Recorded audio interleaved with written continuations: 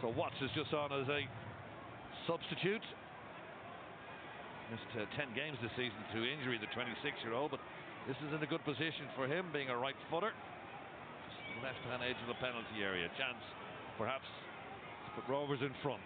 Walsh takes a couple of steps off his line. Oh, and can do nothing about it. Lovely finish from Dylan Watts. Watts took a couple of steps off his line, ball up and over the nets himself nicely in the back of the net, and Rovers have turned it round. It's Shamrock Rovers 2, Sligo Rovers 1. Oh, well, I have to say, it's one thing that's been a real bugbear of mine for the last few years is people that just can't stick them in the back of the net, free kicks.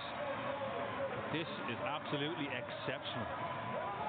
Look at the way he gets that up and down, the height he gets on it because the wall jumps as well, but it's still, it hasn't even gone the top corner. It's wonderful technique and pace, all just perfect. Keeper's no chance.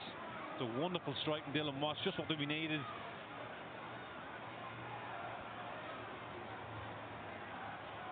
Dylan Watts